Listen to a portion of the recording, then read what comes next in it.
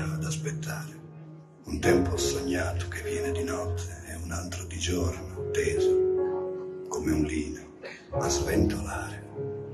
C'è un tempo annegato e uno segreto, un tempo distante che è roba degli altri. Un momento che era meglio partire e quella volta che noi due era meglio parlarci. C'è un tempo perfetto per fare silenzio, guardare il passaggio del sole d'estate e saper raccontare ai nostri bambini quando è l'ora muta delle fate. C'è un giorno che ci siamo perduti, come smarrire un anello in un prato e c'era tutto un programma futuro che non abbiamo avverato, è tempo che sfugge, niente paura, che prima o poi ci riprende, perché c'è tempo, c'è tempo, c'è tempo, c'è tempo, per questo mare infinito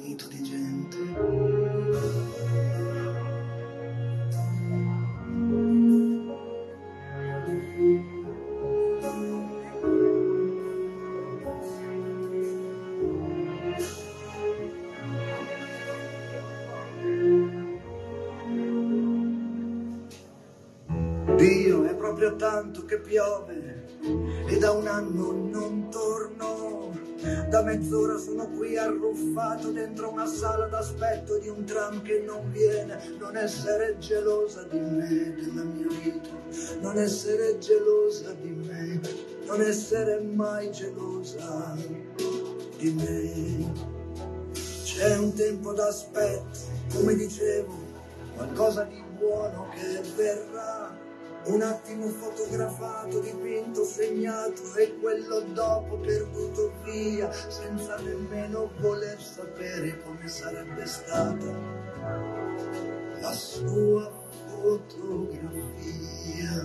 C'è un tempo bellissimo, tutto sudato, una stagione ribelle, l'istante in cui scocca l'unica freccia che arriva alla volta celeste e trafigge le stelle, è un giorno che tutta la gente si tende la mano, è il medesimo istante per tutti che sarà benedetto, io credo, da molto lontano, è il tempo che è finalmente, o quando ci si capisce un tempo in cui mi vedrai accanto a te nuovamente, mano alla mano. Che buffi saremo se non ci avranno nemmeno avvisato. Dicono che c'è un tempo per seminare e uno più lungo per aspettare. Io dico che c'era un tempo sognato che bisognava sognare.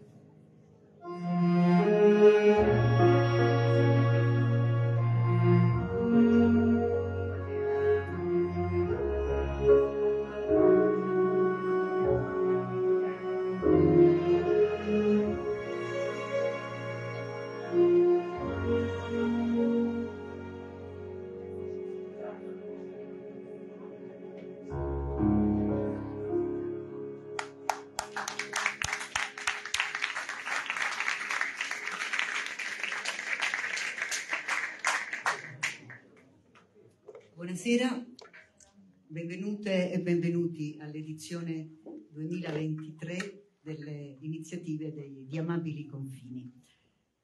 Amabili Confini è un progetto di rigenerazione sociale delle periferie, delle periferie di Matera, mediante la narrazione. È un progetto ideato da Francesco Mongello e organizzato dall'associazione omonima Amabili Confini. Al centro c'è la cultura, considerata come un possibile motore di sviluppo, sviluppo umano soprattutto e relazionale, utilizzando la narrazione diffusa e il racconto corale, nell'obiettivo de- di una crescita sociale della comunità, stimolata a riconoscersi e a ritrovarsi in un luogo. E questa sera noi siamo in un luogo che ci ospita e che è all'interno del quartiere di Serra Venerdì. Ringraziamo so- innanzitutto eh, il parroco che ci ha messo a disposizione questo, questo spazio. E siamo a Serra Venerdì, uno dei quartieri di Matera, uno dei, dei, primi quartieri nati in attuazione della legge di, del risanamento dei sassi, legge del 1952. Eh, Serra Venerdì è stata progettata da uno dei più grandi architetti che hanno operato qui a Matera in quel periodo, che era Luigi Piccinato, che aveva fatto anche il piano regolatore della città. E, ehm, e, e tutta questa operazione era nata in funzione del trasferimento degli abitanti dei Sassi in quella che era nominata da allora la città del piano, per poi prevederne il ritorno in un futuro successivo. Le cose poi sono andate un po' diversamente, con tempi un po' più lunghi. E, ehm, come forse già sapete, molti di, di, di, voi seguono queste iniziative da un bel po' di tempo.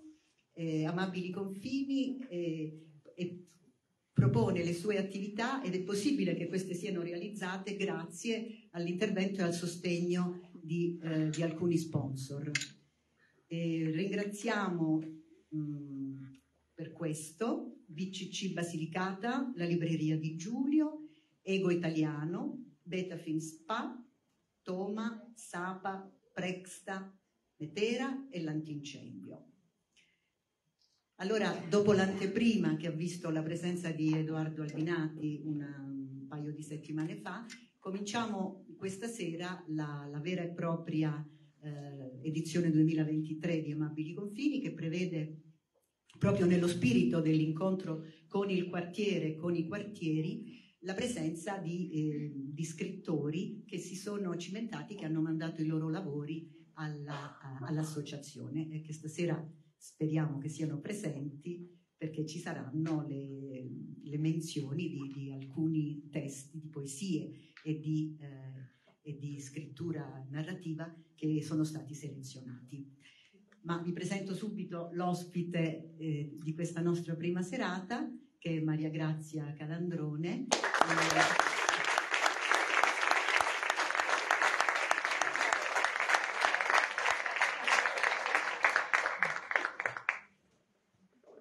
Maria Grazia Calandrone è, eh, è, una poetessa, una scrittrice, una drammaturga, conduttrice per la RAI, è un'artista visiva, è una donna insomma.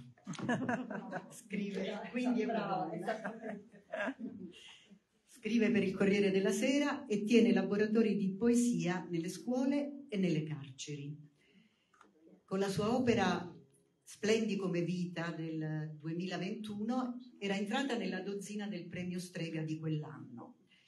Per Einaudi, l'anno scorso, nel 2022, ha pubblicato Dove non mi hai portata, che è il testo di cui poi discorreremo stasera, e che anche quest'anno è nella dozzina dei finalisti del premio Strega.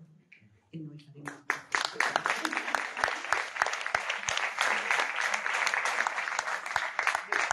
Allora, come, come dicevo prima, il, cominciamo con eh, uno spazio, che è uno, è uno, spazio dedicato proprio alla poesia. E, mh, c'è una sezione che abbiamo chiamato Amabili Versi, dove le poesie sono arrivate da quartieri di Matera e, e da tutta Italia su un tema che ogni anno viene, viene scelto mh, coralmente da, dai soci di Amabili Confini e quest'anno, come avrete capito anche dalla bellissima canzone di, eh, di Fossati, è il tempo. Il tema di quest'anno è il tempo, quello scelto, e, ehm, e cominciamo quindi con le poesie che sono state scelte tra quelle pervenute nella sezione Poesie dei quartieri.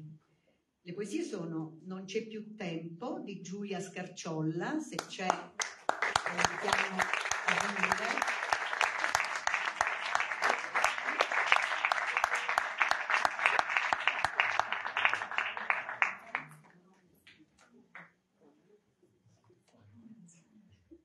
Giulia, dunque Giulia ha soltanto 12 anni, frequenta la scuola media Nicola Festa e poi ci, ci dirà qualcosa.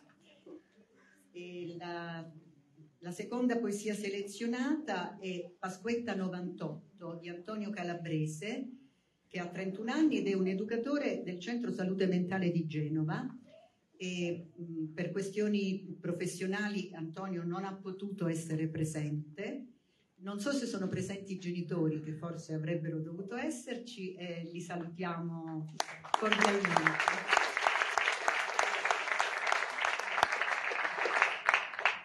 Terza poesia è Tempo Tranello di Chiara di Lecce.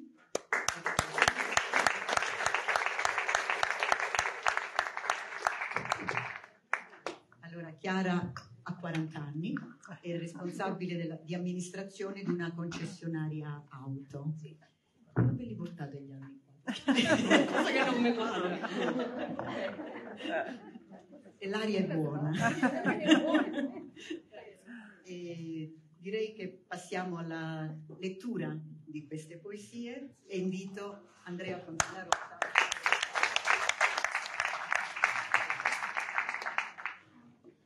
Non c'è più tempo.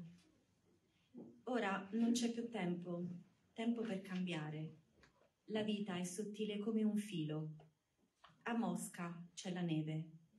I bambini giocano, un vecchio piange piano, un giovane imbraccia le armi. Il cielo è nero di nuvole e tuoni, di bombe sulle case e carri armati sulle strade. E di questo tempo cosa ci rimane?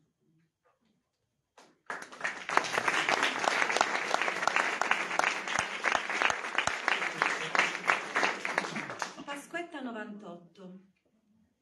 Sento carne d'arrosto lontana, profumi di letame, di cani spulciati all'ombra, di preparativi. Rivedo visi di famiglia in ricorrenze importanti in campagna. Rivedo le mie ginocchia sbucciate nel capanno di lamiere, le urla di mia madre per correre in tavola, il sangue che colava lungo la gamba, mia nonna su una sedia. La sicurezza di sentirsi piccoli, di sbagliare, di farsi male. L'inadeguatezza di fare gli adulti, di creare calore, di prestare attenzioni. Sono diventato il bambino che ha cercato la fioritura in autunno, ma in autunno cadono le foglie, appassiscono le voglie. E rivedo ancora la mano di mio padre sulla brace, un vento che aizzava carboni ardenti e gatti randagi che scappavano rincorrendosi. Il vecchio trattore lasciato in garage a sonnecchiare. Una vecchia Grundig passava la messa del Papa, poi il giornale radio.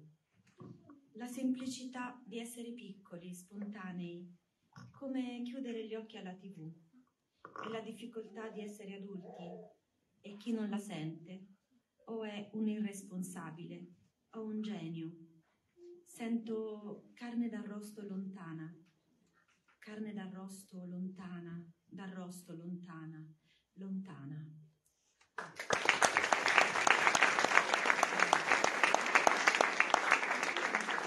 Tempo tranello.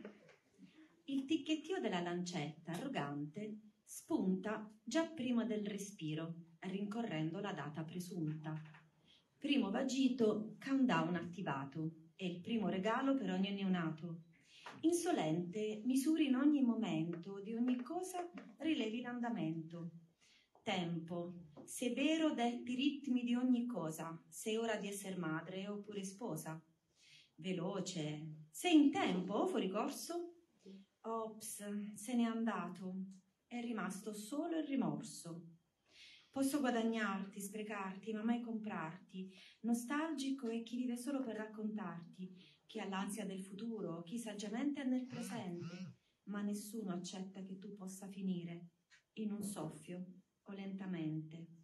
Tempo insolente, tempo invadente, la durata del mio passaggio per te non vale niente. Appena sveglio sono già in ritardo e tu camminando mi guardi e ridi con fare beffardo. Caro tempo, non guarderò la mia vita dietro i vetri. Ogni tuo secondo sarà importante, come per una corsa dei cento metri. E se ti perderò, non sarà mai un insuccesso. Preziose sono le pause se per cercare se stesso. Me lo hai insegnato tu. E che, proprio sul più bello, ti sei mostrato per quel che sei, un vile tranello.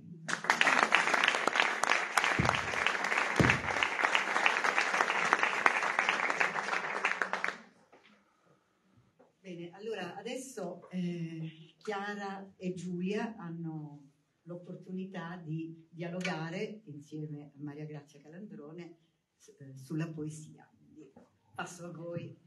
Che poi mi guardi male. Come mia figlia che mi guarda proprio con un attimo. No, va bene. Allora, è, è incredibile che tu abbia 12 anni. Perché c'è un, passaggio in particolare che mi ha colpito di questo tuo testo. A Mosca c'è la neve. Allora, è vero che noi oggi viviamo in un mondo, nel villaggio globale di cui tanto abbiamo parlato, però che tu alla tua età abbia aperto lo sguardo, è chiaro che tu la, le notizie le ricevi dai giornali, dalla televisione, da internet, insomma da tutti i mezzi, però che tu riesca a non concentrarti sul tuo io e faccia entrare quello che sta fuori di te, come in questo caso appunto a Mosca c'è la neve e poi tutto questo piccolo discorso che tu fai senza fare nessun moralismo, semplicemente raccontando come stanno le cose, avendo fiducia che il lettore capisca che se tu metti in scena una serie di scene di guerra, evidentemente no, il, il, risultato sarà quello del, no, del, del, del ritrarsi. ma la domanda che ti voglio fare, a parte questa sensibilità malinconica che tu hai, che mi piace molto, mi, cioè mi dispiace per te, però, però, però mi piace molto, cioè in poesia funziona, funziona molto bene.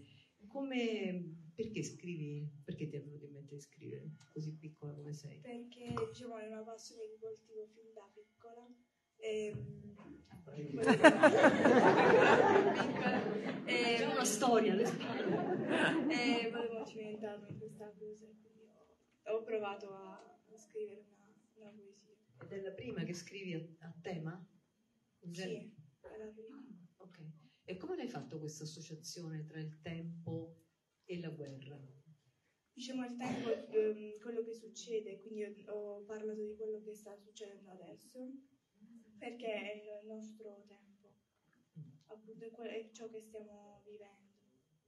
No, infatti è, è giusto, giusto. C'è questa, questo...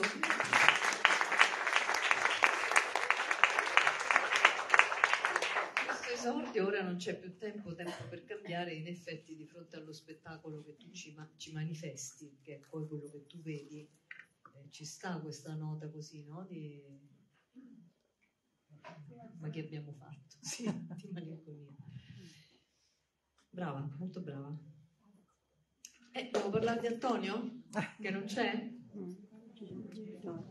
Vabbè, di Antonio posso dire due cose che mi ero appuntata. Allora, mi, mi sono piaciuti molto i dettagli, che per esempio questa Grundig, no? che è la radio che trasmette, che, che chi, forse tu no, perché, perché, no, eh, però insomma chi ha la mia età sa di che cosa stiamo parlando. No? Le, era una marca di radio eh, che trasmetteva appunto evidentemente nella sua infanzia la messa del Papa, la, che, la, la radio che avevano a casa. E, e, qui c'è, vabbè, l'avete sentita, questa descrizione nostalgica del tempo infantile e, e della fatica, della responsabilità di essere adulti, che, che evidentemente però c'è qualche cosa, c'è già una, una, notizia di qualche cosa che non funziona quando scrive sono diventato il bambino che ha cercato la fioritura in autunno, no? questo scambiare il tempo eh, il tempo del, del, cadere con il tempo del nascere, evidentemente è una, una vecchia storia diciamo per, per, Antonio Calabrese, però lui non mi può dare nessuna risposta perché non c'è, non so se i suoi parenti ne sanno qualcosa, ma dell'arrosto, esatto, esatto. Ma questo arrosto poi non so perché sente questa carne d'arrosto lontana come se adesso fosse diventato vegetariano, non lo so, o non si sentisse più.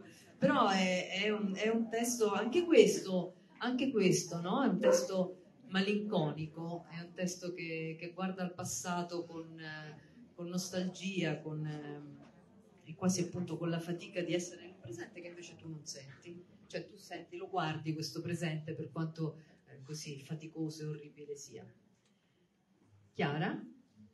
Allora Chiara ci fa una filastrocca, ci fa una filastrocca in rima baciata dove ci spiega che c'è niente da fare, che c'è, c'è questo, questa tassa da pagare, no, non, dalla nascita, in realtà dal concepimento, cioè dal primo momento in cui veniamo concepiti c'è questa tassa da pagare, quindi affronta il tema dal, con, una, una, certa ironia. No? Primo Vagito Countdown attivato il primo regalo per ogni neonato, come appunto eh, è stato letto, mh, mm, con una certa ironia, mh, mm, però anche con una riflessione. No? A un certo punto tu dici: Se ti perderò, non sarà mai un insuccesso, preziose sono le pause se è per cercare te stesso. Quindi, insomma, anche sto tempo, un elogio del tempo perso, no? un elogio del tempo perso nel senso guadagnato nel momento in cui questo tempo viene impiegato per una autoriflessione, per qualche cosa che non è soltanto lasciarsi scorrere addosso questi inesorabili minuti, ma farne tesoro. No? Questo... Ok, allora io scrivo spesso filastrocche e lo faccio per uno scopo soprattutto terapeutico perché normalmente una filastrocca nasce quando c'è qualcosa che non va. E casualmente io non conoscevo questa associazione, quindi mi trovo qui veramente per caso. Un'amica mi dice: Chiara, ma perché non scrivi una filastrocca sul tempo? E avevo questo cartoncino con la parola tempo sotto il mio computer. E effettivamente era, non, è, non, era un periodo particolarmente facile eh, perché sono reduce da una cosa brutta che è un aborto. In realtà adesso probabilmente c'era proprio mio, la mia data presunta era, era adesso e quindi um, ho riflettuto tanto sul tema tempo perché ho 40 anni. È, e quindi mi sono sentita quando è successa questa cosa proprio fuori tempo. E, e quindi mille, mille ragionamenti uh, ma, ma poi facevo i conti. E sì vabbè ma io se poi ci riprovo ma poi sarà, sarò vecchia così con la, quindi la testa che va va va. E poi avendo una, testa, una, una mente molto matematica che ho fatto, uh, come spesso succede, ho cercato di semplificare il problema. E, e quindi una cosa complicata l'ho resa facile con una filastrocca quasi infantile, perché alla fine queste rime baciate sono tutte così, però in genere spesso nascondono qualcosa di più, di più forte. E, e niente, quindi ho deciso che bisogna prendersi del tempo, anche quando sembra che, eh, diciamo, dal punto di vista razionale questo tempo non c'è, perché 40 anni è un'età avanzata per, per, diventare mamma, per esempio, no? secondo un'idea, o secondo quello che ci dicono, secondo... La, Anna l'ho fatta, Anna che compare nel libro, avevo 43 anni. Eh no, ma infatti, infatti, alla fine mi arrabbio, perché dico, ma cioè, noi dobbiamo avere il tempo per essere madre, il tempo per essere sposa, te- ma questo tempo cos'è? Questa cosa che addirittura appena nasci già parte e non c'è tempo, a, a ti svegli ed è tardi, cioè non basta. E quindi cioè, noi quasi tutti penso che ci svegliamo, guardiamo, è tardi, basta. Quindi sei un vile tranello.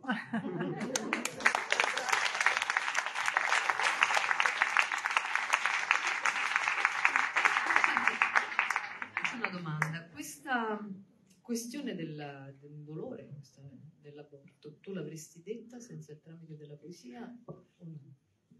Allora, ritengo che questa sia proprio un'opportunità.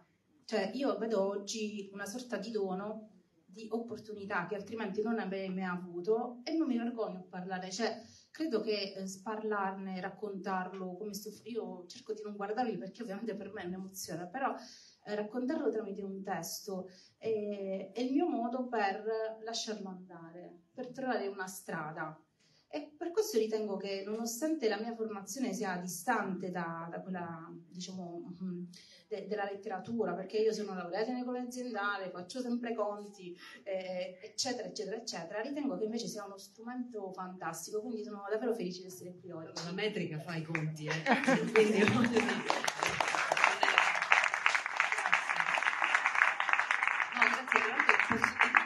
cosa soltanto, c'è anche, ora mi fa venire in mente questa questione, la, la Michela Murgia, no? che, insomma, che sta affrontando anche lei. Grazie, grazie. Ecco, viene da dire grazie. Grazie a questa tragedia che sta attraversando, sta affrontando anche lei dei temi cruciali per la nostra società. La famiglia, la malattia, la morte. Ecco, tu, grazie alla scrittura, metti no? ci racconti questa esperienza. Quindi in questo senso, ecco, mm, sono d'accordo con te, la, la, la scrittura è, è, terapeutica non soltanto per sé, è, è un modo anche per, eh, per stare insieme e, e, per affrontare dei nodi cruciali della nostra società, perché appunto perché c'è da vergognarsi. Grazie.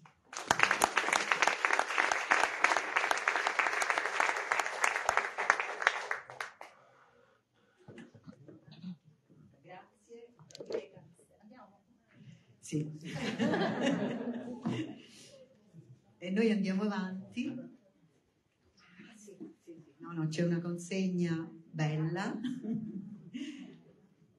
Nel libro di me. Hanno vinto un libro. Hanno vinto un libro, sì. Uno a caso. Bene, e noi andiamo avanti sempre nella sezione poesia con uh, una selezione tra quelle che sono pervenute nella sezione fuori zona. E sono due, sono la poesia Cronos di Angela Iannarelli.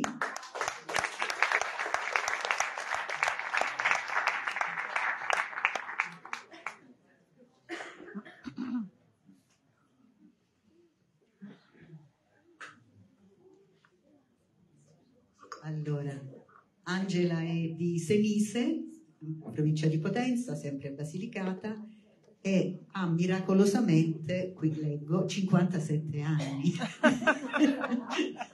è un insegnante di sostegno, benissimo.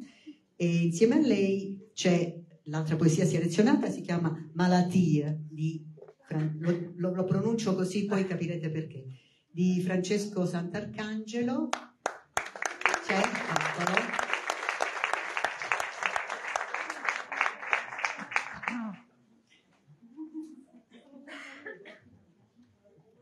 Allora, Francesco ha 18 anni, è uno studente del liceo linguistico Tommaso Stigliani di Matera, è residente a Montescaglioso, Basilicata, e eh, ascoltiamo eh, queste due poesie.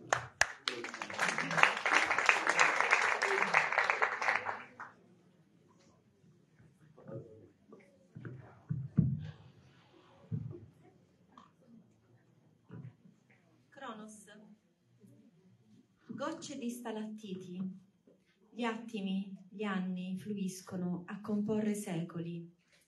Lacrime di resina ambrata si depositano nel cosmo, costruiscono, edificano i pensieri progettati da Dio, distillano l'infinito, mentre noi, qua giù, ignari, restiamo in bilico tra un'ora e l'altra. Distanti stalagmiti dalla perfezione divina, le dita di Adamo, imperfette, protese al mistero, e intanto scivolano le ere.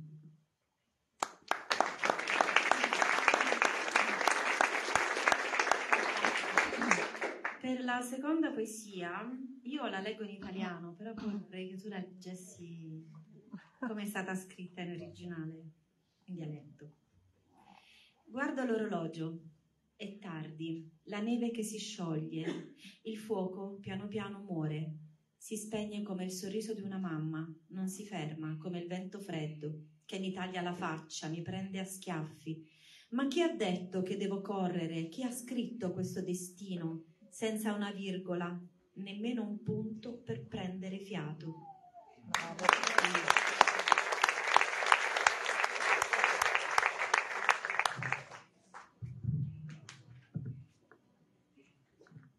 Purtroppo rende meno in italiano.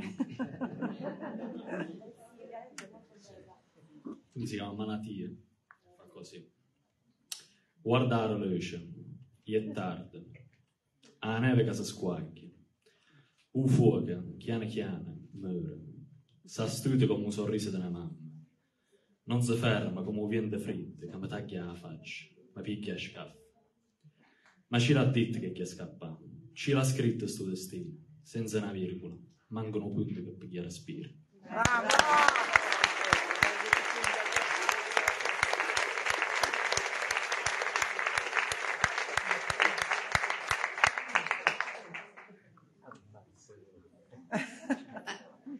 bravo a leggere anche. Beh, allora, questi due testi ci offrono l'opportunità di, di dire due cose, no? di parlare questo, e io lo faccio vedere perché c'è una, vedete com'è sottile? Eh?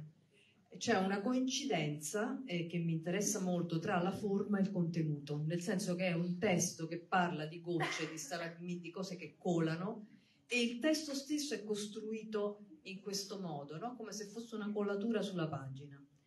E, ehm, per esempio, questo, questi versi che ho sottolineato, distanti stalagmiti dalla perfezione divina, le dita di Adamo imperfette, protese al mistero, raccolgono evidentemente quello, il senso che tu dai all'umanità, no? il senso di perfettibilità dell'umano che tende a scavalcare se stesso fino a raggiungere, e usi appunto questa, questa metafora della, eh, della, del metafora, non similitudine, non c'è il come, delle, sta, delle stalagmiti di questa mano che tende um, al, al divino. È consapevole, questa è la mia domanda, no, non è consapevole il contenuto, è consapevole il fatto che la forma coincida con... Okay. Volevo proprio dare l'idea, io microfono. Scusate, ero abituata a parlare ad alta voce a scuola con i ragazzi. Ma se ci riesci, sono convinta che mi ascoltano, che si sente la voce. l'immagine che avevo di fronte era proprio quella delle, del, del capolavoro, no? Eh, di Dio che cerca di toccare le dita di Adamo. E, e, come la ragazza prima che ha parlato dell'elaborazione del dolore, anche per me la poesia in questo caso è stato un modo per superare quell'impotenza e quella rabbia che noi esseri umani proviamo di fronte alla nostra finitezza, di fronte al fatto che siamo fallibili, che siamo mortali e che eh, tutto questo ci fa, eh, più delle volte penso io, ehm, è, è la causa della violenza che poi riversiamo gli uni contro gli altri. E non solo la guerra di cui ha parlato quella bambina che a 12 anni evidentemente ha subito già, ha dovuto elaborare questa cosa così grande, uh, ma la violenza anche più piccola tra di noi, le piccole invidie, le gelosie, il dolore, la malattia, la morte, i lutti che dobbiamo elaborare con l'andare avanti negli anni, la malattia personale e quella ancora peggiore che tocca a chi vogliamo bene, le perdite delle persone che amiamo, e a un certo punto la poesia ci aiuta ad elaborare a salva- e a salvarci, ad accettare tutto questo,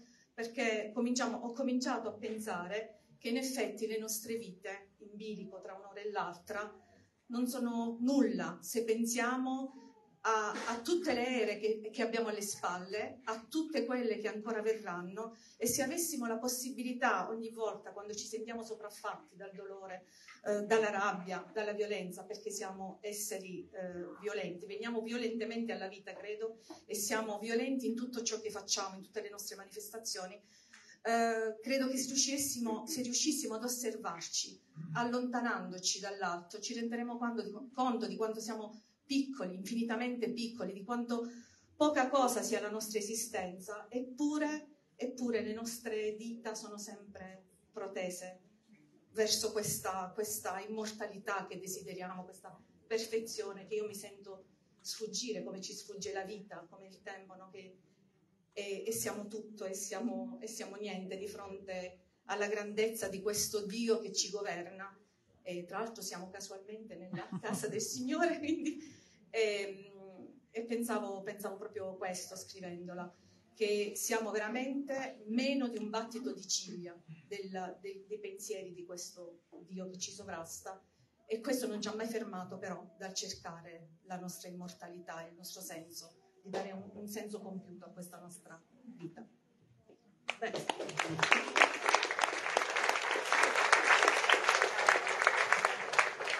Quindi la poesia in qualche modo è un, ehm, è un canale virtuoso dove mettere queste, tutta questa riflessione che altrimenti ci agisce. Beh, insomma, è, è, è, vero, è anche questo, è anche un modo per, eh, per eh, toccare gli altri proprio nello stesso punto, no? Quindi fa, fa, farci, farci, riflettere mentre riflettiamo noi stessi, chiunque scriva fa riflettere chi legge su questi temi che poi è, è il tema, no? quello della nostra, del tempo che è uscito fuori della, de, quindi, e quindi della morte, perché poi sotto tutto questo, di questo stiamo parlando. quindi morte, malattie e quant'altro, quindi tutte queste delizie che ci toccano in quanto esseri umani. Quindi metterli, metterli in, in, dei versi significa non farsene sopraffare, secondo me.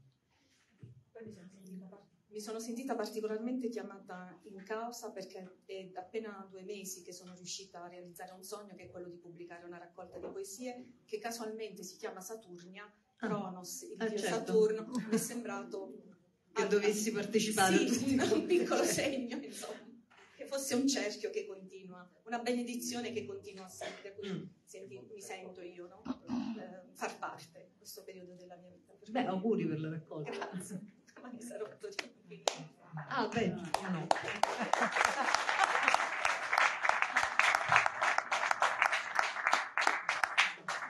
Altro argomento a cui che te c'hai i capelli peggio di mio figlio ti posso guardare allora eh, altro argomento è lo stesso sempre il tempo no, sì, no, dico, altro argomento del quale ci, ci offri eh, questa coppia eh, appunto l'opportunità di parlare è il dialetto no? questa, questa cosa straordinaria di vedere un ragazzo così giovane che usa la lingua, una lingua arcaica. E, allora, io personalmente, ma questo nulla significa, lo dico così, beh, tanto per dire, amo moltissimo la scrittura di poesia dialettale, anche se non è una poesia, è, è una tra le poesie meno frequentate, eh, meno pubblicate, anche se c'è la traduzione sotto, però invece io, io ti dico questo, la maggior parte dei poeti, eh, dopo aver cercato per tutta la vita la, la propria voce, trovata, aver espresso tutto quello che, che, che devono esprimere, alla fine della loro vita o verso la conclusione della loro vita cercano disperatamente puro suono. Allora, a me personalmente interessa poco il significato della poesia, mi interessa sentire la lettura, sentire il suono, che poi si capisce, insomma, non è così oscuro. E tra l'altro è molto bello questo, questa, anche in italiano, questa, questa questi due versi rendono benissimo, il fuoco piano piano muore, si spegne come il sorriso di una mamma, questo evidentemente tu lo sai che affondi, no? affondi nella, nell'emotività. Però ecco, la domanda che ti faccio è come mai hai scelto questa lingua? Beh, innanzitutto perché è la nostra lingua, eh sì. la lingua del, del, del, mio paese. e poi perché per il senso a cui ho, che ho dato alla poesia è, è praticamente azzeccato, perché ha un senso di... è crudo, il dialetto è crudo e diretto, quindi è proprio come il tempo che ci prende un po' alla sprovvista e poi c'ha, ha un suono molto particolare rispetto appunto alla, alla versione italiana che comunque secondo me vale molto di meno. Cioè... È tua la versione italiana? Sì, sì. Potevi anche non esserti autotradotto. No, no, no. Però chiaramente ha, secondo me assume più valore con, con, con i suoni appunto del dialetto. Sono completamente d'accordo, vero, assume più valore in dialetto e, e tra l'altro è una poesia di ribellione, no? nella quale tu anche nel senso della poesia, allora ti, a parte che il dialetto viene dal tempo, quindi ci entra anche no? nel, nel senso. E poi appunto tu dici, vabbè io non lo so dire, però solo... Ma ce l'ha detto che gli ha scappato. Sì. Eh, esatto. Infatti è no? un po' eh. un grido di rabbia eh, verso il tempo esatto. che appunto ci, ci rincorre, come una rincorsa. Infatti l'ho chiamata malattia proprio perché assomiglia molto alla malattia il tempo, cioè qualcosa che ci, ci disgrega lentamente, ci, sulla quale non abbiamo alcun ci distrugge, sì. Eh sì, sì, siamo tutti arrabbiati col tempo, diciamo, ci, ci fa venire fuori, eh, per forza, per forza. Grazie.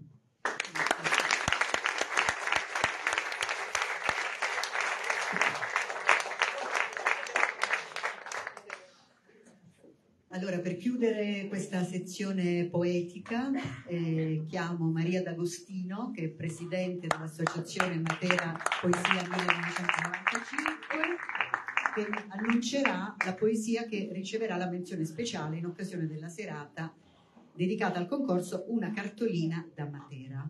Prego. Grazie, buonasera. Eh, in virtù di questa collaborazione che ormai da anni abbiamo con l'Associazione Amabili Confini, oltre a selezionare queste poesie che sono state presentate stasera, abbiamo deciso che il 22 ottobre, eh, che sarà la giornata in cui mh, premieremo per il nostro concorso una cartolina da Matera, appunto, riceverà una menzione tra le poesie che abbiamo ascoltato, Malattia, di Francesco. Scusa il tuo cognome, scusami, Sant'Arcangelo. Quindi segnati questa data perché il 22 sarai presente con noi alla premiazione, avrai tutte le notizie per eh, raggiungerci e riceverai una menzione nell'ambito del premio Una cartolina da Matera. Va bene?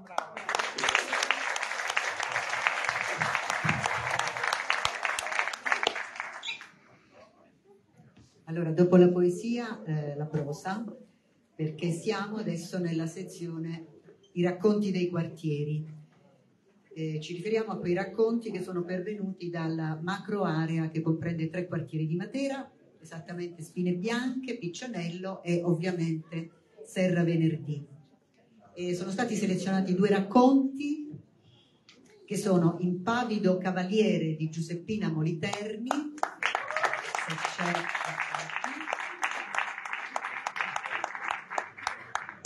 Giuseppina ha 14 anni. Scusate. Tanto è la serata sul tempo, no? Allora, sì, sì, sì. Sì, sì, sì. Infatti laureata in scienze del servizio sociale. E, mm, insieme a lei l'altro racconto selezionato è Sirio ed Europa di Ginevra Appio.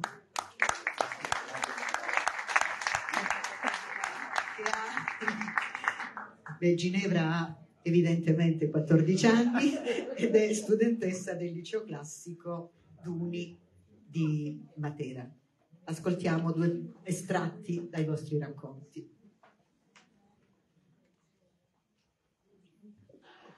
Impavido cavaliere. Sarebbe meglio non conoscerlo. Sarebbe meglio non toccare con mano tutta la sua fugacità e la sua inafferrabile concretezza, perché di fatto, di concreto, non resta nulla. Un giorno passa, un altro segue, in fila, composto, scandito dal percettibile mutamento della luce che ci avvolge e che d'un tratto scompare. E quando inizia il mattino, basta un non nulla e subito fa sera.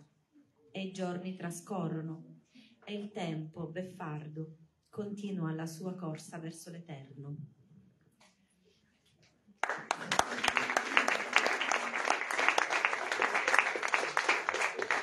Sirio ed Europa.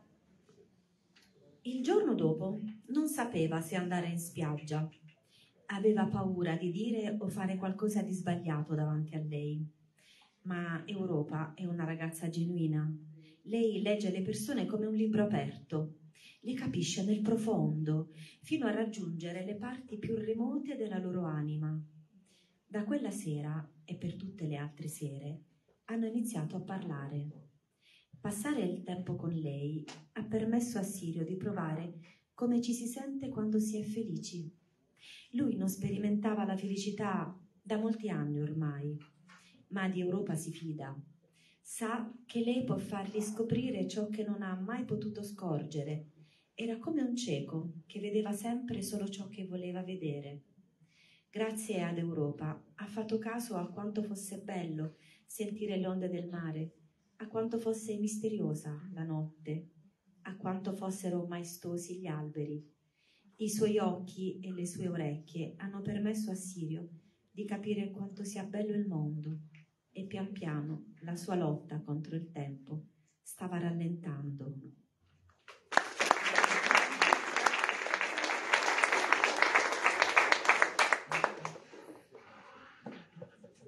Allora, Giuseppina. Allora, il, il racconto, lo chiamiamo racconto, di Giuseppina è in versi, diciamocelo. Io ve lo faccio vedere. Oh, e ovviamente questa cosa mi interessa molto perché eh, tu io non ho capito se erano due concorsi diversi, uno per la poesia e uno per il racconto. Ecco, quindi tu hai scelto di mandare una poesia al concorso per il racconto. Nel senso, non è precisamente una poesia, è una poesia però, è un racconto, una poesia narrativa, quindi insomma un racconto nel quale tu evidentemente senti continuamente il bisogno di andare a capo. Ecco, perché? Allora, non, è, eh, non era voluto, non era intenzionale. Man mano che scrivevo, allora sicuramente quando sono partita nello scrivere mi sono domandata cosa dire sul tempo, perché il tempo comunque è tante cose, lo stiamo vedendo anche stasera dai racconti, dalle poesie totalmente diverse, ma che in fin dei conti per ognuno rispecchia un po' comunque quella che è la rabbia Mm. nei riguardi del tempo, che appunto è inafferrabile, non riusciamo mai a coglierlo nel momento che più ci possa sembrare interessante. Quindi all'inizio è partita un po' così, una mia analisi nei, nei riguardi del tempo che ehm, io percepisco con rabbia, posso dirlo in maniera genuina. Ehm, man mano che scrivevo comunque sentivo la necessità un po' di dividere i miei pensieri, quindi se sono partita parlando del tempo in maniera negativa, poi eh, ho affrontato una mia autoanalisi, quindi ho capito man mano cos'è il tempo realmente e quindi ho cercato di fare una riflessione. Per cui in qualche modo ho pensato che fosse importante eh, dividere le parti per far comprendere meglio ciò che volevo esprimere. Quindi, insomma, in questo modo era un modo per esprimermi, nulla, non era voluto questo sicuramente. Scusami, quindi anche il fatto che tu, cioè io- questi sono versi, voglio dire, non Sì. è- no? È il fatto che tu a un certo punto scrivi, per esempio, vi leggo, attraversando sconfinati spazi, virgola, a capo, mondi ines- inesplorati, Inesplorati. virgola, a capo, terre che riflettono i caldi raggi del sole sovrastante, virgola, a capo, acque impenetrabili, virgola, a capo, cieli irraggiungibili, punto, a capo, eccetera. Volevo dare valore, sì. Ok, quindi ciascuna di queste frasi diventa un verso perché tu desideri sottolinearla. Esatto. No? E questo è peraltro, come dire, una delle ragioni per le quali in poesia si va a capo. Ma è anche vero che, ehm, per esempio, appunto, mentre leggevo Terre che riflettono i caldi raggi del sole sovrastante, è tutt'uno. No? Quindi il verso libero ovviamente segue, non essendoci più, prima stavamo scherzando sulla metrica che è matematica, ed effettivamente è così, ma non essendoci più una matematica fissa, evidentemente il verso libero ci permette di espandere nel momento in cui tu hai voglia di, di- di- di dire terre che riflettono i caldi raggi del sole sovrastante, quindi ci stai dando un'immagine pianeggiante, no? che va, eh, in cui l'occhio è- è- va più lontano rispetto a, a mondi inesplorati, per esempio, allora appunto puoi utilizzare un verso più lungo. Ehm, poi i paragrafi, tu mi dici, appunto ci dici, sono eh, motivati dal fatto che hai voluto suddividere, quindi da quello che capisco, mentre scrivevi tu sapevi cosa andavi scrivendo. Sì, è Giusto, stata che- una riflessione sempre- comunque di venire. Ehm, E, appunto scrivendo mi rendevo conto che per ogni parte bisognava dare la propria importanza, perché per ogni parte c'era un susseguirsi di riflessione collegata. Senti, ma scrivere questo racconto, chiamiamolo racconto, visto che partecipi alla sezione racconto, e ti, ha- ti è servito a, a placare questa rabbia nei confronti del tempo? A me, Sicuramente. sicuramente. confermiamo quello che abbiamo detto poc'anzi sul valore anche no, della- nella condivisione con altri. Eh, effettivamente sì, poi tu chiudi dicendo impavido cavaliere, per ogni battaglia che dovrai affrontare permettigli di essere il tuo protettore diventa addirittura quello che ci protegge, no? piuttosto che quello che ci perseguita e ci pungola e, e ci porta dove non vogliamo andare. Grazie.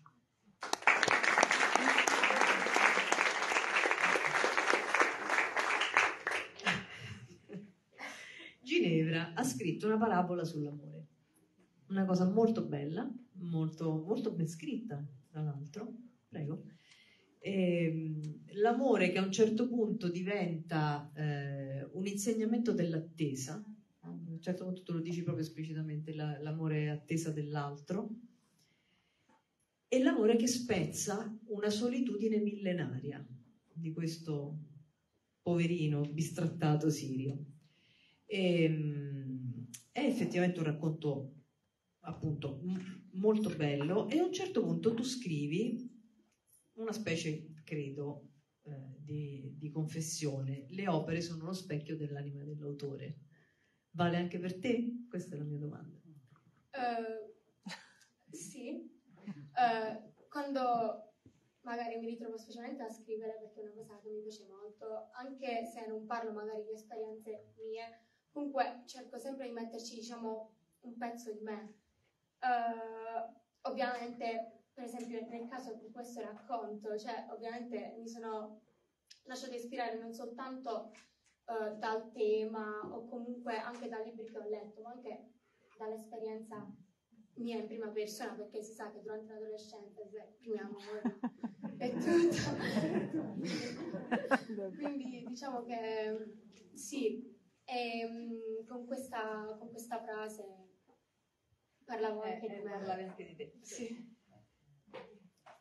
Allora, però è evidente che tu sei abituato a scrivere, me, me lo confermi. Per esempio, la debole luce delle sette di, delle sette di sera mi piace un sacco. Oppure, grazie ad questo già è stato letto prima. Grazie ad Europa ha fatto caso a quanto fosse bello sentire le onde del mare, a quanto fosse misteriosa la notte, a quanto fossero maestosi gli alberi. E poi tu racconti, e evidentemente ci confermi che, che è quello che fai tu, racconti di questo, eh, tutte le sue emozioni, tutto il suo dolore scorrevano i tratti della matita, perché questo ragazzo disegna, disegna e, e- e poi leggetevelo perché è molto carino. E poi tu scrivi, si limitava, mentre ammirava i disegni di Sirio, questa sua, quella che lui ambisce sia la sua innamorata, si limitava ad un atroce silenzio, un silenzio di mille parole. no? Quindi c'è questa osservazione da parte della ragazza che lui, ragazza, dea, semi- semidivinità. E poi qui va bene, questo l'abbiamo detto, il tempo come l'amore è ingestibile, e però non vi dico come va a finire perché sennò va a fare brutto perché le ultime righe sono veramente molto belle, però non ve le leggo perché sennò sapete come va a finire, se poi questo amore sarà felice o meno, eh, lo dovete leggere. Ehm, no, però continuo a scrivere perché mi sembra che, che ci siamo. Questo è un racconto, è proprio un racconto, senza mai andare a capo su... Grazie.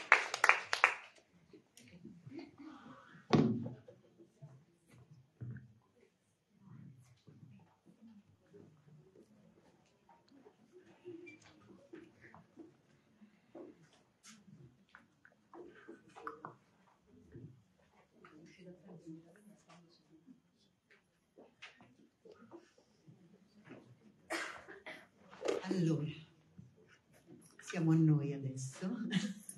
Prima eravamo a noi. Sì, sì, sì, sì. E io chiamo intanto subito ehm, l'altro ospite di questa sera che è Bartolomeo Smaldone, che è un poeta nostro vicino di, di casa, perché Altamura è il paese più vicino in assoluto a Matera, pur essendo in Puglia, e quindi abbiamo con Altamura moltissime relazioni perché siamo proprio vicini di casa. sì. Ma lì c'è un po' di competizione. È più, è più buono il pane di Matera. Detto da.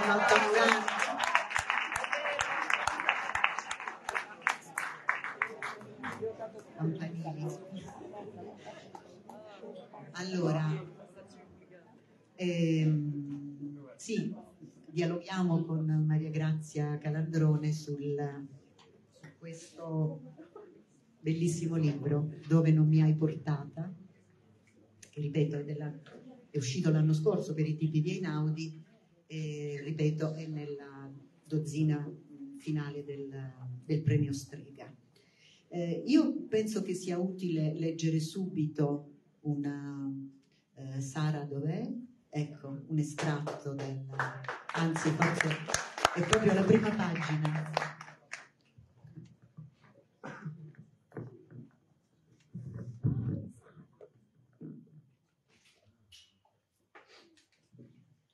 Si chiamava Lucia. Di mia madre ho soltanto due foto in bianco e nero, oltre naturalmente alla mia stessa vita e a qualche memoria biologica che non sono certa di saper distinguere dalla suggestione e dal mito. Scrivo questo libro perché mia madre diventi reale. Scrivo questo libro per strappare alla terra l'odore di mia madre. Esploro un metodo per chi ha perduto la sua origine, un sistema matematico di sentimento e pensiero, così intero da rianimare un corpo, corpo caldo come la terra d'estate e altrettanto coerente. Comincio da quello che ho, le due fotografie che la ritraggono, nell'ordine in cui sono apparse nella mia vita. La prima è stata scattata nel giorno del suo matrimonio, sabato 17 gennaio 1959. Lucia ha 22 anni, veste in bianco integrale e non sorride. Un giorno guardando questa foto fino a far scomparire le immagini e apparire la realtà dietro le cose che chiamo poesia, ho appuntato su un ritaglio di giornale quattro frasi che diventeranno chiare scrivendo questo libro. Si chiamava Lucia. Pochi avevano a cuore la sua vita. Oggi è il giorno del suo matrimonio. Qualcosa di lei non esiste più. La seconda fotografia è il rettangolo di pochi centimetri incollato sulla carta d'identità trovata nel giugno 1965 in una borsetta abbandonata in Roma. Mostra una giovane donna, piuttosto bella, persuasa di sé, vestita con maglia e giacca nera, orecchini e collana d'oro. Un'eleganza semplice. Lo sguardo è sincero, aperto e remoto. Nonostante Lucia sorrida appena, il labbro inferiore un po' sporgente dà all'intero viso un'espressione infantile lievemente imbronciata. Ricorda Claudia Cardinale, nella ragazza con la valigia di Valerio Zurlini. Non so quanti anni abbia in quella foto. Nello scatto dove Lucia veste in nero, l'espressione fotografia, scrittura di luce, scrittura con la luce, appare corretta. Nella fotografia in bianco, lo sguardo della sposa risucchia l'intera scena in una vitrea assenza di vita. Lucia fa gli occhi lisci della preda che finge di non esserci. Arretra in uno sguardo impenetrabile, dove il mondo è un paesaggio di bestie aguzze e senza sogni, addormentate fuori dalla natura. E su quegli occhi aperti il mondo scivola, non posa più.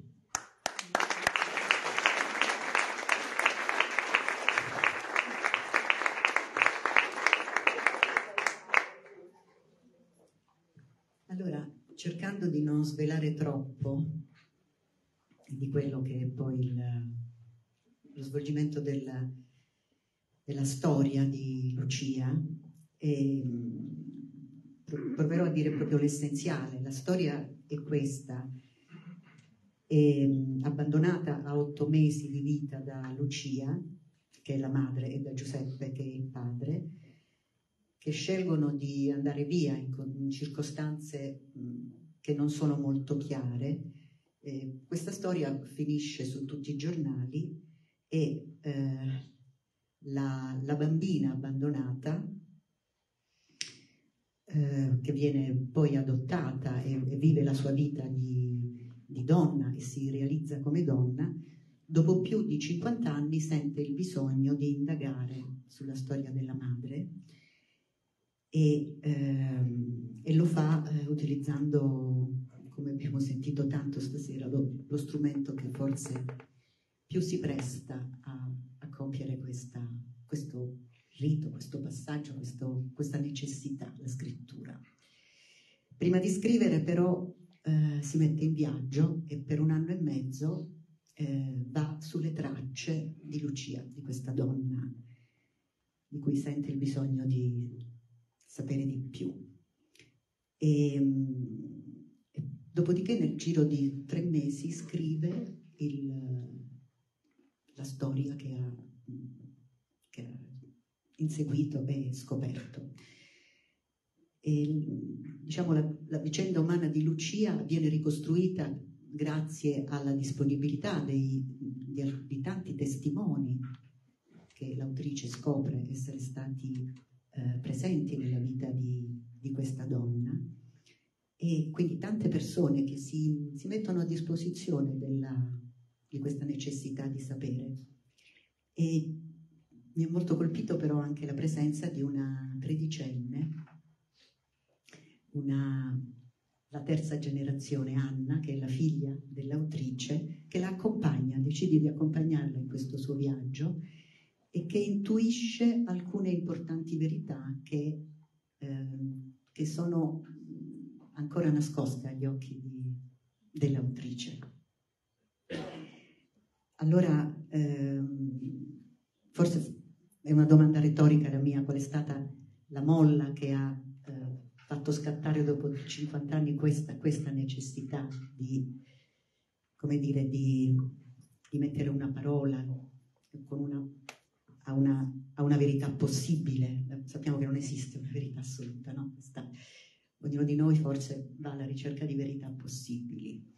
E, e, poi il ruolo fondamentale che ha giocato Anna, perché mi sembra proprio il passaggio di testimone da una generazione all'altra, perché grazie a una ragazza di 13 anni, eh, una nipote che scopre eh, tanto di una nonna che non ha mai conosciuto, però offre alla madre anche elementi per poter ricostruire la storia di sua madre.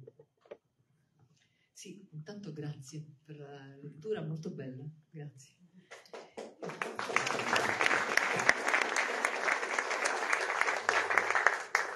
Ehm, allora, l'esigenza, in realtà io non avevo nessun, nessuna voglia di affrontare questo grande fantasma della madre morta quando avevo otto mesi, insomma, Beh, ho fatto tante cose nella vita, scrivo, ho figli.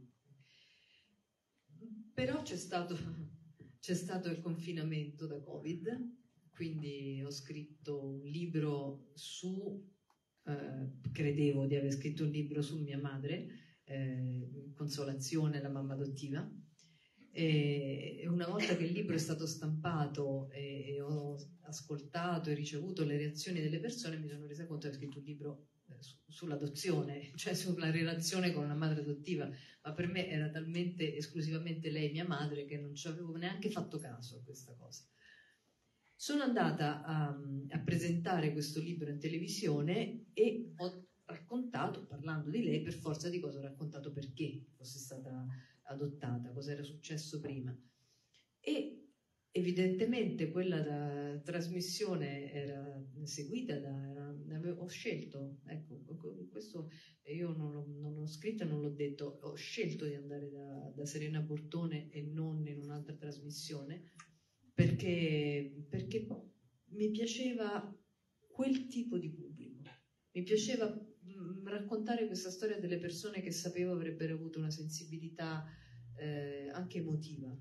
E infatti hanno, quando sono tornata a casa, ho trovato un sacco di messaggi eh, di persone che avevano conosciuto mia madre, Lucia, e che volevano parlarmi di lei. Quindi ovviamente ho preso un colpo perché non me lo sarei sinceramente mai aspettato. E, ehm, e quindi ho, sono andata poi dopo una, no, ho, de, ho, ho, detto questa cosa immediatamente appunto a Serena, allo staff, e sono andata di nuovo in trasmissione e, e poi però ho detto, oh, ma di che? No, io no, ma mm, era, sapevo che avrei dovuto affrontare una cosa faticosissima. Infatti, poi vabbè, c'era il Covid, il Molise era particolarmente colpito in quel momento, per cui da febbraio sono poi andata ad agosto insieme con mia figlia. E, e lì però, quando ho cominciato, non, mi sono potuta fermare più perché ovviamente eh, si accumulavano eh, notizie su notizie, ma io non avevo intenzione di scrivere un libro, cioè io sono andata a sapere cose su mia mamma. Ma siccome tutte le informazioni che mi arrivavano erano informazioni di una grande sofferenza, cioè di una persona simpatica, vitale, che però era costretta i, i, da, dal pregiudizio, da, da, da, leggi che ancora non c'erano, in una situazione di, mh, di, di sofferenza costante, mi sono arrabbiata perché ho capito che, una, che storie del genere sono ancora attuali e quindi ho deciso di scrivere un libro. E, e, poi i fatti mi hanno dimostrato, ma anche i fatti di questi abbandoni di cui si sta tanto parlando ultimamente, mi dimostrano purtroppo che storie del genere sono ancora attuali, ovvero che ci sono tante, tante famiglie che non sono in condizioni di poter tenere i propri figli. E io non credo, contate ci sono 3.000 abbandoni l'anno circa, non, sa, non credo che ci siano 3.000 madri che non hanno voglia di stare con i propri figli. Ci saranno forse 10 madri che non hanno voglia di stare con i propri figli, ma ci saranno un numero elevatissimo di madri e padri che non sono in condizioni sociali e morali di poter tenere questi ragazzini. Quindi io spero che, che questo libro possa servire un po' a... Boh, non lo so, spero, lo spero. E Anna. Anna, Anna è venuta con me perché le piace viaggiare, perché facevamo un viaggio con la macchina, e mettevamo la musica, eccetera. Eh, poi però siamo arrivati appunto in questo paese del Molise e, e subito le hanno detto ma quanto somiglia a Lucia e quindi lei piano piano si è coinvolta in questa storia, è voluta venire lei poi eh, in tutte le altre tappe e, ehm, ed ha effettivamente avuto due intuizioni eh, su due punti fondamentali di questa storia, cioè uno perché sono stata lasciata in un prato e non in un brefotrofio o una chiesa, insomma in un luogo più consono all'abbandono, diciamo, e due perché a Roma, visto che i miei genitori vivevano a Milano e io sono nata a Milano, che bisogno c'era di, secondo le ricostruzioni, eh, loro sono stati a Roma due ore, cioè sono venuti giusto il tempo per uccidersi e Anna mi ha spiegato il perché. Io passo la parola. Eh, dunque, è, è, complicato parlare di questo libro perché, eh, citando un romanzo di Holiday Hall, La fine è nota, conoscendo la fine e, e sapendo che si tratta di una storia vera, di cronaca, tra l'altro, sia pur lontana relativamente nel tempo, leggere questo libro richiede uno sforzo emotivo notevole. Da questo punto di vista è psicologicamente faticosa la lettura, non perché il libro lo sia, il libro è così appassionante che si legge in un arco temporale davvero, davvero breve, dimenticandosi del tempo si legge in un attimo. E, e quindi questa è la connotazione di questo, di questo romanzo ed è una tara, una tara importante dal punto di vista emotivo. In tutta questa storia, che ha tanti protagonisti, evidentemente la figura che si staglia su tutte le altre è quella di tua madre, di Lucia, nome tra l'altro bellissimo, non fosse altro perché era anche il nome di mia nonna ed è il nome di mia sorella, ma per il valore simbolico che ha questo nome che ci rimanda naturalmente alla, alla luce con tutte le implicazioni no? che eh, la luce ha. C'è questa figura che si staglia per tante ragioni. Io dico che mh, Lucia è stata una, una donna eroica, eroica eh, leggendo della sua vita sofferta, triste, di quel cortocircuito iniziale dell'amore incompiuto giovanile con Tonino, eh, una vita veramente molto, molto sofferta eh, e con una forza d'animo notevole che le ha concesso in ogni circostanza di trovare una qualche soluzione, anche, anche alla fine. Leggendo di lei mi veniva in mente, non a caso ho detto epica la figura, mi veniva in mente, o mitologica se vogliamo, eh, Alcesti ad esempio, no? Che ad un certo punto decide di sacrificare la sua vita per eh, permettere a quel vile di, de, del marito eh, di continuare eh, a vivere. Ecco, quando è giunto, e lei lo sa, e lo sa anche Giuseppe, quando è giunto il loro ultimo momento, c'è un'immagine che mi ha completamente folgorito e che io metto al di sopra di, di tutte le esperienze che ho fatto leggendo questo libro, l'estremo senso del pudore di questa donna di fronte a, ad un momento estremo ed irreversibile, perché fa una cosa, io l'ho trovata proprio antica, arcaica, che va oltre proprio la concezione della vita, della morte e, e diventa quasi astratta, cioè sapendo quello che sta per fare, che stanno per fare, no, non so se devo dire quello che stanno per fare, vabbè, comunque no, non è importante il come. Sapendo che sta per compiere questo gesto estremo, indossa un costume da bagno e sopra al costume mette i vestiti. Io vorrei che tu, da figlia, ci dicessi un po' di questa, di questa scelta che può sembrare forse in quest'epoca in cui si è perso completamente il senso del pudore, no? siamo completamente spudorati, narcisisti patologici. Eh, eh, questa donna che sta per compiere questo gesto estremo ha questo pensiero. Questa cosa mi ha commosso. Eh, figura da me. sì, in effetti è, è, una delle circostanze eh, nelle quali lei dimostra veramente chi è. Perché perché neanche la disperazione, perché, ma poi in realtà eh, io non credo che fossero disperati, io credo che fossero determinati, folli, completamente folli, innamorati e determinati. E, e quindi lei è, è, stata in grado, visto che insomma, evidentemente questo suicidio è avvenuto per acqua, eh, altrimenti non avrebbe avuto senso mettersi un costume da bagno, eh, ha indossato questo costume per, una, per, per dignità, semplicemente perché la biancheria femminile sappiamo che è bagnata, insomma può dare delle trasparenze che potrebbero essere equivoche e quindi non voleva, non voleva questo. E, ehm, poi nel libro c'è una seconda parte nella quale io faccio veramente la, la detective, smonto alcuni, alcune, smonto alla luce dei fatti, non perché io abbia un pregiudizio e voglia smontare le cose, eh, smonta alla luce dei fatti e di, di, una serie infinita di informazioni che ho ricevuto mh, alcuni elementi che erano stati scritti nei, dai giornali, tra cui appunto una frase che a un certo punto un giornalista dice forse un bagno al fiume finito male. Allora, a parte povero deficiente, quella ci aveva il vestito sopra, cosa si bagnava nel fiume col vestito, cioè è chiaro che però eh, ecco, io su questo mi sono arrabbiata più di una volta, addirittura è uscito fuori un titolo, Maria Grazia non sa che sua madre si è uccisa per lei. Ora, adesso noi stiamo molto attenti quando parliamo di Enea, di Noemi, a, a cosa scriviamo, a cosa diciamo, perché sappiamo che prima o poi queste persone, forse da adulte, e troveranno le nostre parole, troveranno i nostri video e quindi ecco quel titolo devo dire che insomma ha pesato per un po', poi eh, infatti c'è anche una disamina nel, nel libro di questo titolo.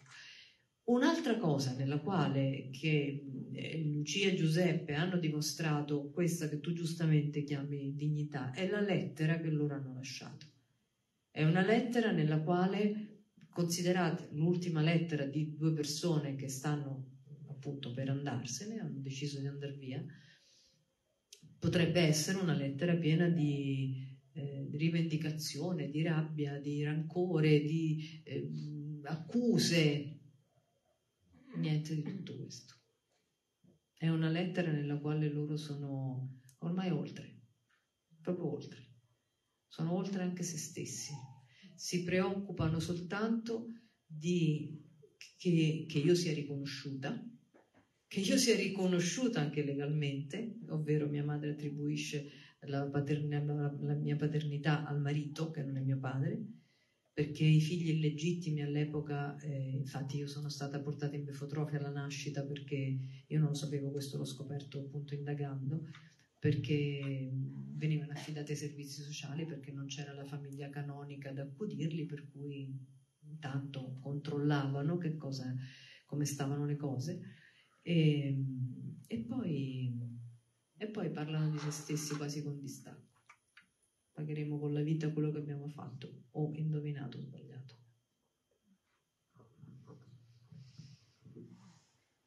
Allora, ci, ci so- ci sarebbero moltissime cose da dire su questo libro, veramente tante. Io, mm, siccome non credo che abbiamo ancora molto tempo, però una- un aspetto che, eh, che mi ha molto molto colpito e che mi ha anche riportato, diciamo, ne- nell'aria di- della lettura, una delle mie autrici preferite che è Annie Ernaux, eh, che, eh, che- che fa un'operazione eh, a partire dalla sua intimità, dalla sua vita privata, a raccontare, a raccontarci pezzi di storia, avvenimenti importanti della Francia. Allora ho ritrovato quest'aria nella tua grandissima capacità di intersecare a partire dalla tua intimità, da una vicenda che ti, eh, dire, che ti ha mh, segnato tutta la vita, raccontarci e intersecare quella che, che è stata l'Italia degli anni 50 e 60, soprattutto nell'aspetto che riguarda il giudizio e il pregiudizio nei confronti delle donne e di quanto que- quella società abbia probabilmente avuto un peso decisivo nella scelta compiuta da, eh, da tua madre e, e da tuo padre, tanto che tu dici a un certo punto, con una cosa che, ecco, quella è una pagina che mi ha intenerito e commosso, chissà se fosse successo oggi, se sarebbe stata la stessa figlia, stessa, se avuto, avrebbe avuto lo stesso finale. Quindi, da un lato, riconoscendo che dei, dei progressi sono stati fatti, che c'è una consapevolezza di- tu dici erano gli anni di lì a poco sarebbe arrivato il femminismo, forse, forse sarebbe andata in un altro modo. E da un altro lato, come dicevi prima, il- mol- molti giudizi e molti pregiudizi persistono, sono ancora molto molto presenti, tant'è che penso, non, non ricordo se tu l'abbia scritto o l'ho, o l'ho- o l'ho ascoltato, che eh, hai scritto questo libro come un libro contro i pregiudizi. No, l'hai ascoltato, non lo dico ma lo metto in scena, eh, nel senso che eh, racconto eh, tutte le motivazioni che hanno spinto questi- queste due creature a compiere questo gesto e, e- e le motivazioni sono anche la, la maldicenza, sono anche la violenza, sono anche il fatto che non ci fosse la legge sul divorzio, e- eccetera, eccetera, eccetera. Quindi non si può quando si raccontano delle storie non si può non raccontare il contesto nel quale queste storie avvengono, anche perché in questo caso effettivamente il fatto che non ci fosse la legge sul divorzio ha influito in maniera massiccia, ha influito sul fatto che il marito legittimo ha potuto denunciare penalmente la moglie e lei rischiava due anni di galera per il semplice fatto di essersi, che quello che oggi sembra un semplice fatto, di essersi innamorata di un'altra persona e di aver cercato di vivere il suo sentimento alla luce del sole. Cioè, Lucia non ha mai voluto nascondersi. E qui è stata anche no, la, sua, la sua condanna a morte, perché se lei si fosse nascosta, chissà quanti ce ne sono di tradimenti. Invece lei, lei voleva, rivendicava questo, addirittura ha preso le sue cose e se n'è andata a vivere con quest'uomo. Una cosa impensabile in un paese del Molise nel 1960, più grande di lei 30 anni. Una cosa impensabile, cioè una follia. Però eh, lei l'ha fatto. Ah, era- è stato una- oggi chi lo sa? Chi lo sa? Però, insomma, però magari se questi matrimoni combinati, insomma, i temi sono molti, ma per esempio se i matrimoni combinati non riguardano più forse la nostra cultura, riguardano però tante culture che vivono insieme alla nostra. C'è un mio amico che insegna a scuola, mi ha detto, aveva letto degli stralci di questo libro, raccontato la storia, c'è una ragazza del Bangladesh che ha detto, eh io, io a 13 anni, lei è promessa sposa ad un uomo di 30. Quindi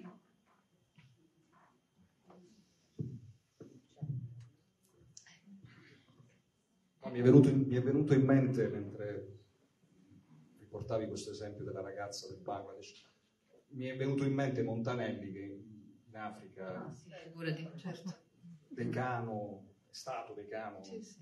Vabbè, c'è, c'è, Sì, c'è- c'è- tra l'altro, sì, tra l'altro se ne parla anche Eh, perché sì. poi nella prima parte di questo libro mh, c'è una, digressione molto interessante proprio sul colonialismo fascista, no? eh, in Africa, per le ripercussioni che ha quella, quello proprio, no?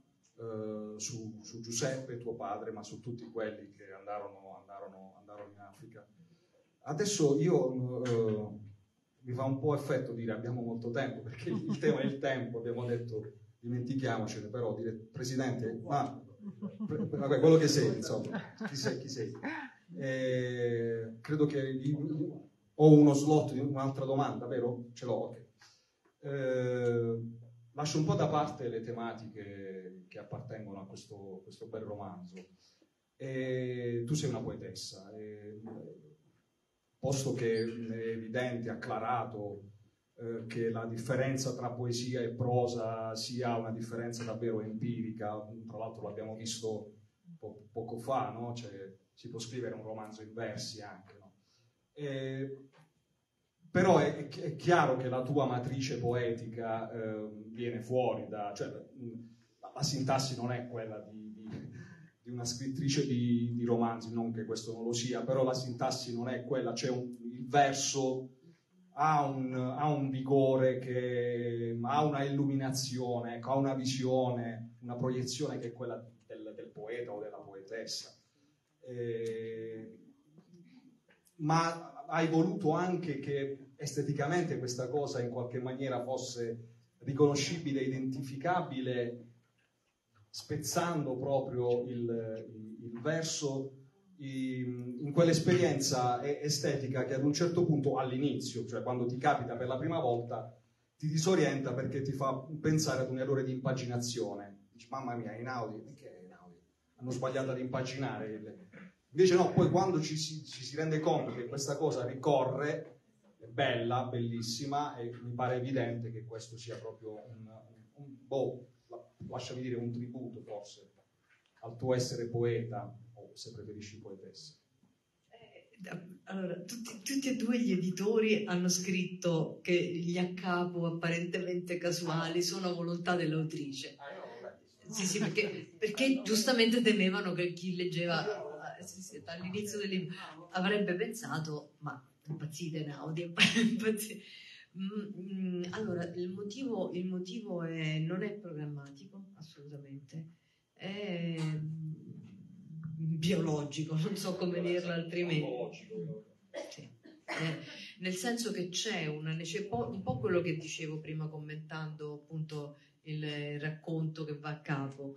Eh, c'è una necessità eh, proprio del, del, contenuto che si sovrappone alla forma eh, in maniera violenta, no? per cui quando, quando è, il respiro è ampio e lungo c'è la narrazione e allora va bene, quando c'è, eh, soprattutto mi sono reso conto mh, mm, quando, si parla, quando parla Lucia, quando si parla di Lucia, mh, mm, c'è un respiro spezzato c'è, e poi quando in entrambi i libri, in effetti, nel momento della morte, eh, c'è una poesia.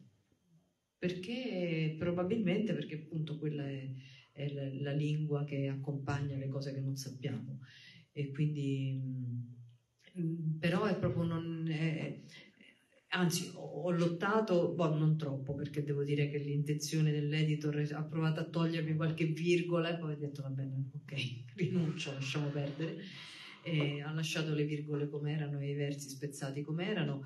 Eh, però io penso che sia eh, indispensabile seguire la musica del testo, perché questo un po' meno, quello precedente moltissimo, quasi, era quasi tutto in decasillabi e settenari cioè è, proprio la musica, il suono di fondo, il suono di fondo che abbiamo nella, nella, nel, nel, DNA.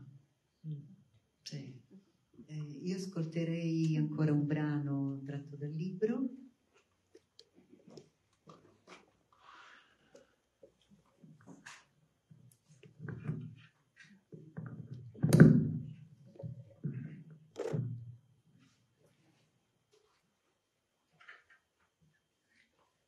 Come un diorama. Lucia guarda la valle ancora livida. È l'alba. Quale disegno del demonio l'ha collocata qui, su questa piccola sporgenza di terra? E sotto ettari di lavoro da fare a braccia, per un tozzo di pane e nessuna carezza. Luigi la tocca solo col forcone, la spinge avanti, come coi maiali. Ogni tanto però ha delle accensioni, la massacra di calci e pugni in testa. Tutti sapevano che la picchiava, nessuno faceva niente. Quando Lucia se n'è andata, alcune donne del paese hanno detto almeno non prende più botte. All'epoca le donne venivano picchiate quasi tutte, anche dalle suocere. Per un non nulla, sì, ma lì era troppo. Il promontorio dove poggia la casa, la striscia azzurro metafisico dell'erba sotto. Lucia guarda, guarda la vigna, l'ombra verde follia dei primi pampini. Di tutto la colpisce l'eccedenza, il troppo esistere delle cose, così persuase di essere proprio quello che sono, mentre lei vorrebbe sparire, morire qui e rinascere davvero, ricominciare tutto dall'inizio, questa volta sul serio. Forse questa è una prova, un errore, chiede alle alture circostanti, chiede al rosso dei rami e alla Madonna. Santa Madre, fai che questa sia solo la copia, sbagliata, della vita mia.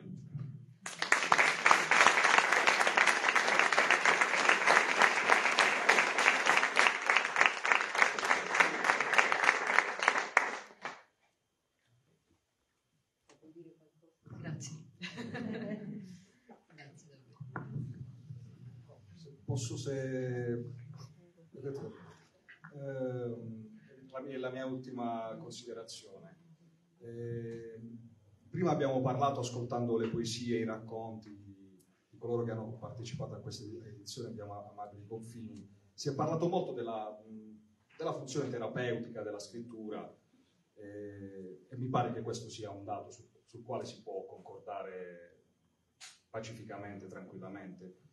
Eh, però secondo me ce n'è, ce n'è anche un'altra di funzione della, della, della scrittura e, e questo, questo, romanzo un po' secondo me comprova quello che, che sto provando, tentando di dire e dirò.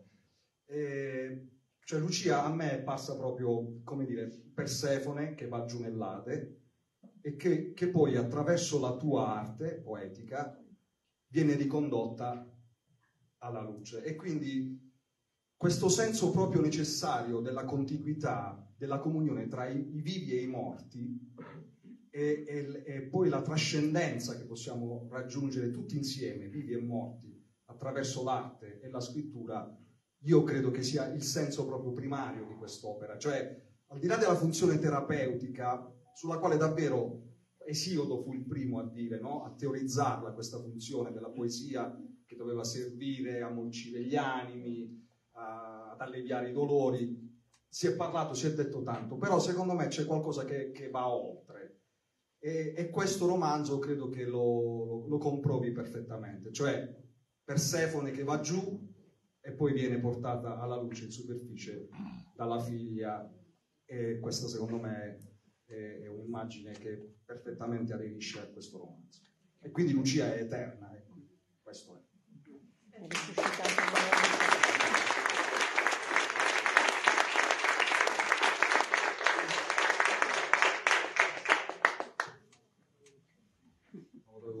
No, no, eh, non posso aggiungere nulla.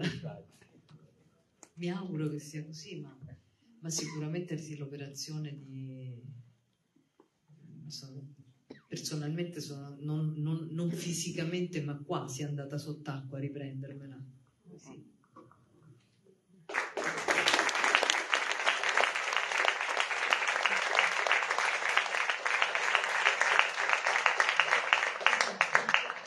non so, io mm, chiuderei con, con, il titolo di questo libro e con un capitoletto che si chiama Dove non mi hai portata, dal quale viene fuori tutta la gratitudine di Maria Grazia, perché Lucia ha fatto una scelta eh, estrema per lei e per il, suo, per il suo grande amore, ma è stata attentissima poi a scegliere tutte le condizioni migliori tra quelle che potevano essere eh, trovate, non solo per non portarla con sé, ma per eh, permetterle poi una, una vita eh, degna di, di questo nome Compreso il giornale al quale compreso il giornale al quale ha spedito la lettera.